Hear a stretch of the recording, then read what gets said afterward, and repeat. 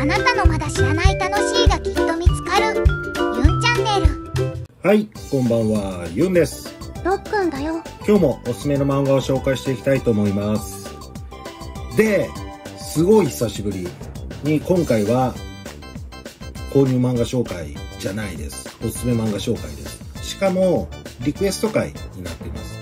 ちょっと前にね、視聴者の方からコメントいただいて、これご紹介してくださいっていうのをいただきまして、それを今回ご紹介したいと思います。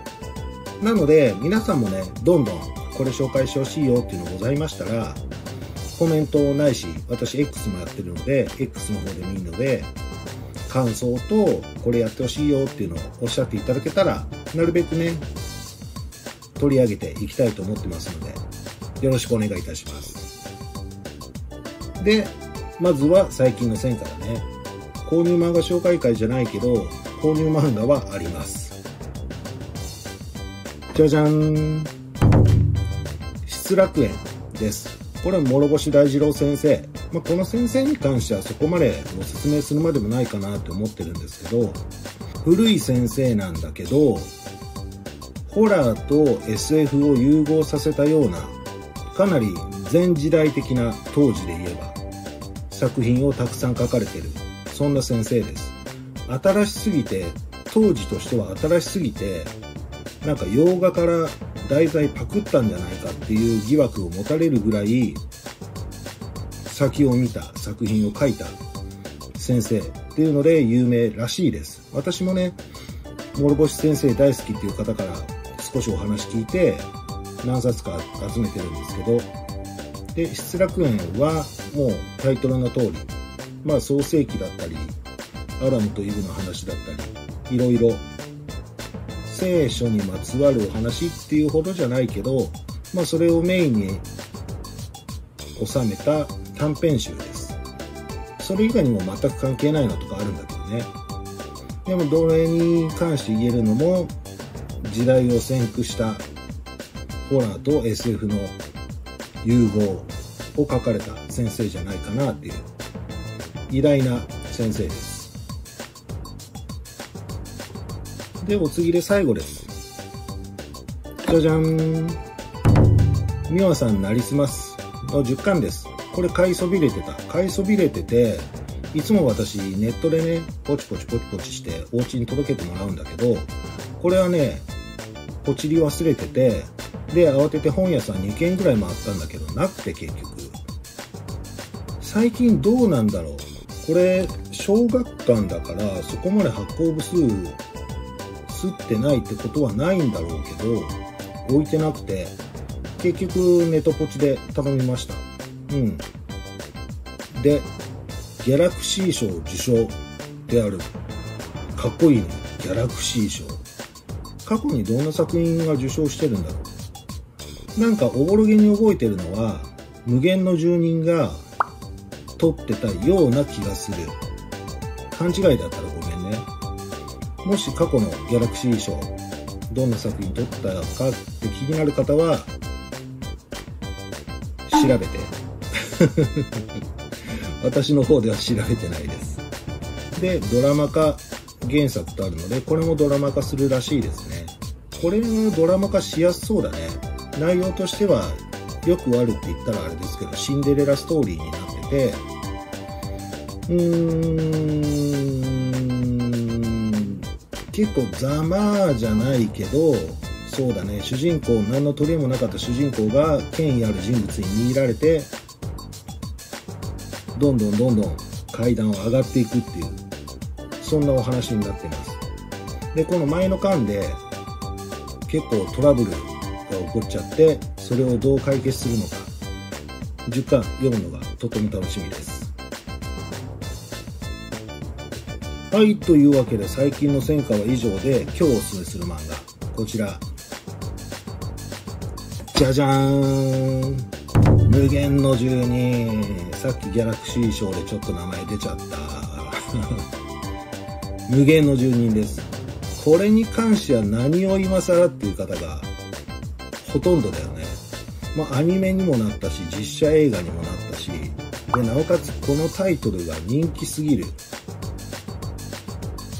それでも、まあ、まあその方もね、読んでめちゃくちゃ面白かったから紹介してくださいっていう形でコメントいただいたので、もう内容に関しては分かってると思う。なので、まあ分かってる体で、分かってる体じゃないね。もう分かってても見てください。分かってても見てください。ざっくり言うと、チャンバラアクションです。時代劇。なんですけど、ただのチャンバラアクションじゃないんだよ。すごい癖が強い。キャラクターも多いし、そのキャラクターの癖も強いから、よくあるのが、無限の住人に出てくる剣士、誰が一番強い選手権とかね、自分の推しの剣士がいて、誰が一番強いじゃないか。っていうのがね、めちゃくちゃ考察がはかどる。っていうのも、なぜかというと、昔プレステであったスクエアから出てたゲームなんてタイトルだったっけな？一撃だったかな？なんかね剣術の格ゲーがあったんだよそれまさしく一撃でね切りどころが悪かったり一発で KO するっていうとんでもゲーだったんだけどそんないざ尋常に勝負っていう。ああだからしぐるいが近いかな。あれも結構変わってるけどしぐるいみたいにいざ尋常に勝負じゃなくてどちらかがもう手傷を負ってる状態だったりだとか例えば地の利を生かした戦いができるホームアウェイめちゃくちゃホームアウェイの状況で戦ったりだとかで2対1だとか何かしらね状況がねぐっちゃぐちゃなんだ。もうさら地でねお互い剣構えて勝負っていうの方が少ないっていうかないんじゃないかな。ないことはないと思うけど非常に少ない。それぐらいキャラクターの癖も強いのにバトルの癖も強いんだ。それゆえに誰が強いかっていうお話になるんだよ。でもねこれ読んだことある方だったらわかると思うんですけど1位はもう多分誰が読んでも不動。不動の1位はいます。で結局その次からの話になる。その不動の1位はもう殿堂入りです。マキエっていうとんでもな化け物がいるのであれは除外してそれ以外から誰が強いかっていう話になるのがポピュラーかな。でチャンバラアクションって言ったんですけどまあざっくりストーリーをお話しするとこの人主人公なんだけど、まあ、この人はちょっと後に出てくるかな。りんちゃんっていう剣術道場を開いてる親子の娘さんがいたんだけどある日道場破りに押し入られてね両親をまあ無残な形で殺されます。そのりんちゃん。でりんちゃんまだ子供だったから殺されなかったんですけどそこからもうその道場破りに来た一刀流って言われる流派の連中なんですけど復讐の鬼になるわけですあいつらに復讐してやる仇討ちしてやる。っていうのでただ自分では手も足も出ない。困ったなっていう時にとあるおばあさんから強い助っ人を用心棒を雇ったらどうだっていうので白羽の矢が立ったのがこの万事さん。主人公の。この万事さん剣技が強いだけじゃなくて無限の住人。不死身です。比喩でも何でもなくて切っても切ってもつながるんだよ。傷口が。塞がるしつながる。もうほぼほぼ不死に近い体を持っためちゃ強剣士。をその凛ちゃんね相棒に選んでそこから一刀流に復讐していくぞ。いやー。っていうお話。で先に言っとくとこれがね全30巻と割と出ております。でさっき言ったこれが凛ちゃんね。両親を殺されて復讐の鬼になってた凛ちゃん。でこれが万事さん。こう用心棒の関係だね。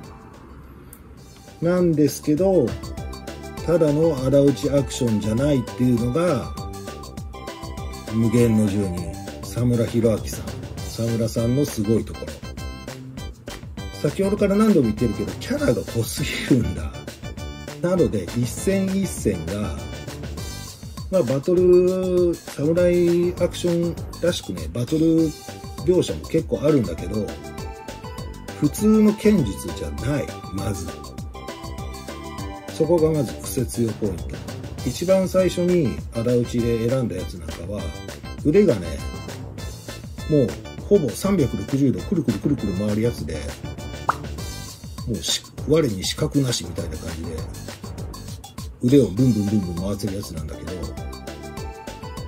もうそんな変態クラスの剣士がいっぱい出てくる。その中でじゃあ誰が一番強いか誰が一番好きかっていうのがこの30巻まで読んでくると出てくるんだよ。おのずと自分の推しが。私はねちなみに誰かな？阿葉山のじいさんが結構好きです。一刀流の幹部なんだけどで毒盛られちゃってまともな力発揮できずに背中切られちゃって戦線離脱してたと思ったら最後の方でまた戦う機会が出てくるんだけどまあかっこいいんだ阿葉山のじいさん。あの人が好きなのとあと百輪っていう女性の剣士。剣士って言っても得意なのは弓なんだけどあの人は正直そんな強くはない。強くはないんだけど女性の強さって言えばいいのかな。もうそもそもねこの佐村さんがね強い女性を描くのがすごく得意な先生でこれ以外にも今連載してるのだと「ベアゲルター」っていう作品とあと「波を聞いてくれ」どちらも女性が主人公なんですけど強い。物理的に強いだけじゃなくて精神的に強い。なんだろう。確たる自分の意志があるというか結構フラフラしてるんだけどでもなぜどこかしら譲れない部分があってぶれない強い。そんな女性。この漫画でも出てきます。その中で最強なのがまあ殿堂入りした蒔絵音の立花蒔絵っていうんだけどそいつに関してはあの物理で強いです。どんな状況下であろうと負けない。もう強すぎる。この万事さんもそこそこ強いんだけどなおかつ不死身だから手も足も出なかっそれぐらい強い。でもその万事さんでも一刀流の投手と最後に戦った時にはまあどっちが勝つかだとかでもそれもねいろいろ条件があるんだ。その一刀流の投手影久か影久っていうんだけどもうちょっとテキスを打った状態で万事さんの方もかなり万全じゃない状態。で戦う。なので本当にね平場からスタートして用意ドンでトーナメント式で勝ち上がっていくっていうような簡単な図式じゃないんだよね。その場その場の出会いと状況。でその地理っていうのも全てひっくるめた上での剣術なんだ。ザ・リアル。そういう意味では。どこでもねお座敷のようにね「えいえいえい」ってできるわけじゃないんでそういった意味ではじゃあ自分のホーム地理に地理的に得意なところに持ち込んで不意打ちとかしたら最強じゃね？全然ありなんだよ。この漫画では。それを得意とするやつがいる。なんなら。でさらになんならそいつが私はナンバー2じゃないかと思ってる。強さランキングで覚醒シラって呼ばせてもらうけどシラっていうねすごい汚ね卑怯な手ばっかり使うね人出なしのやつがいるんだけどあいつも私大好きでキャラクターがそいつが後半にね覚醒するんだよ。あの時のシラマジ無敵だから。下手したら音の立花蒔絵でも危うかったんじゃないかっていうぐらいでもその状態でもうデバフめっちゃ食らってる状態なんだよ。デバフめっちゃもらってるし何人がかりで攻めてっていう形でも覚醒しら退ける。でも最後はっていうね、まあ、因果応報っていう言葉が似合う。そんな末路をたどるんだけど。すごくお話としては